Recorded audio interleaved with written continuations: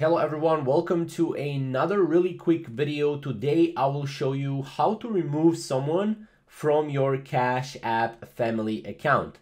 Now as you know, uh, Cash App has its own family accounts and you can actually go and remove family members by removing their family account. Now, before we get started, make sure to subscribe down below to our channel and let's get started with it. So basically, this is all you have to do. You have to open the Cash App on your phone, whether it's Android or iOS. You have to tap on the three lines in the top left corner of the app and then under My Account, tap on Family Accounts.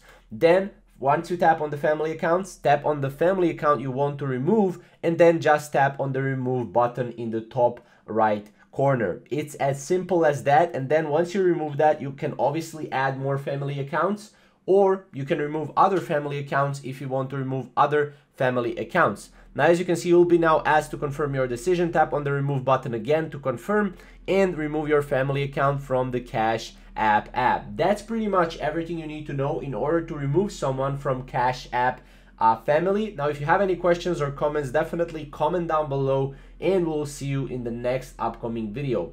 Thank you guys for watching.